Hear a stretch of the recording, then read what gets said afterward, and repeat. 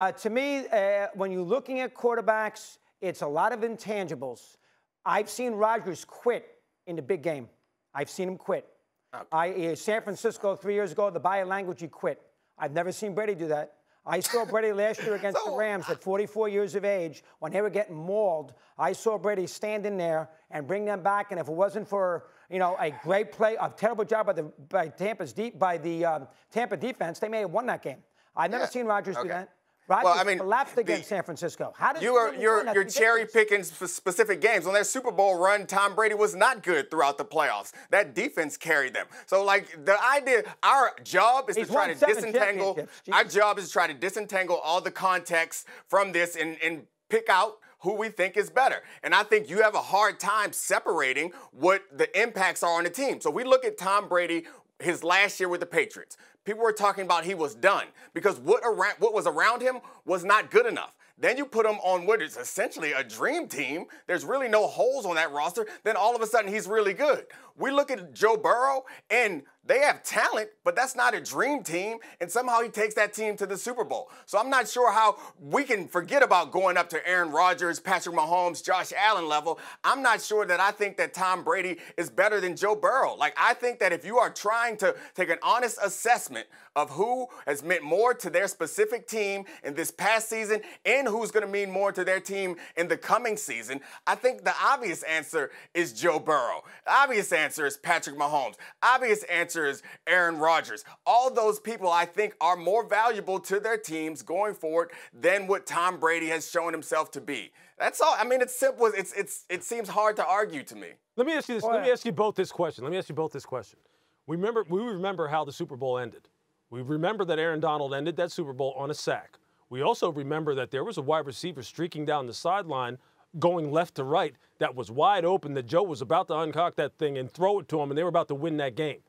Let's just say that Aaron gets blocked on that play. They complete that pass. They win the Super Bowl. How do you, would that affect your ratings in, in terms of one through ten now? Where would Not you put him then? Where would I, you put him? I, I, listen. I'm looking. I think when you do a ratings of a quarterback, there has to be some level of foundation. Burrow's had one year.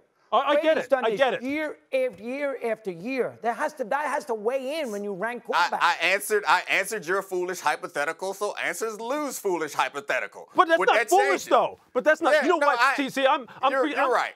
You're right. It was a good hypothetical.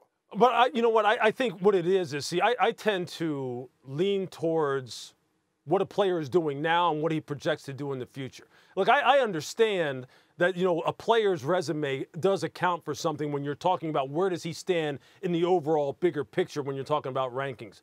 But I tell you this, from a front office perspective, you get in trouble when you start living in the past and you start valuing players based on what they've done before and you don't live in the here and now and what they can do in the future. And look, Tom may go out and throw for 55 touchdowns this year and have us and come on this show or be tweeting about me saying, hey man, how stupid were you to put Joe Burrow ahead of me? Don't ever doubt me. But I'm just telling you, looking at the date looking at the we, data and looking at the tape, yeah. Joe Burrow's the truth, man. We can't allow we can't we can't allow Mad Dog to Euro step around that hypothetical. and I know I know you don't know what a Euro step is because it's relatively new to the game of basketball and you only watch stuff from the 90s and before. Uh, but you way, can't avoid the question. Mad Dog, had he, had he, Mad Dog, had he thrown a touchdown, where would you put him? Answer it. Uh, I wouldn't put him ahead of Brady and these guys. No, uh, I got to have gosh. more than one year. So you just. So you just going, you, you, you, were just but, leaving okay, that, but if, but if, but by your same argument, Louis, Mahomes was awful in the championship game. That second half, he stunk. Let's call it like we see it. He was yeah. terrible.